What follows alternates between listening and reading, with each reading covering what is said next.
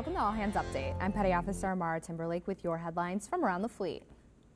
Commissaries will be closed Mondays starting July 8th and going through September 30th due to the upcoming furloughs as a result of sequestration.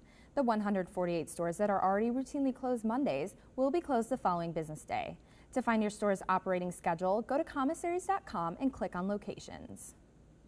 Naval Support Activity Mid-South officially opened the Navy's first solar-powered electric carport charging station.